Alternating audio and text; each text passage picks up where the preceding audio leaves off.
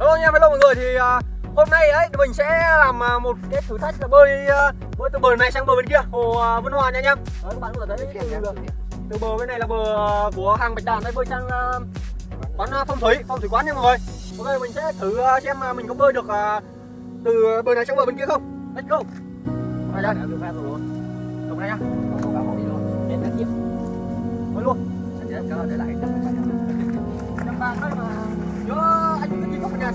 Đâu đâu.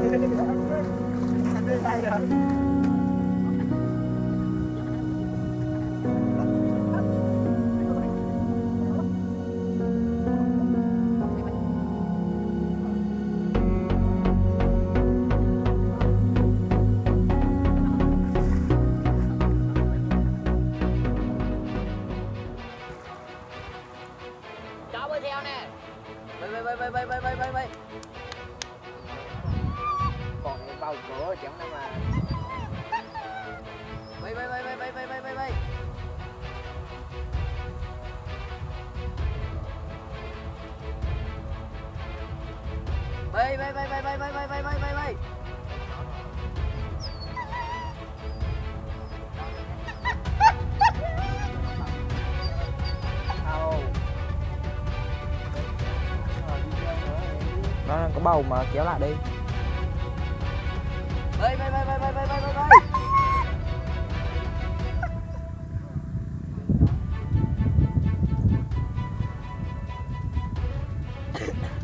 anh nhẹ bơi, anh nhẹ bơi, cháu bơi theo nha.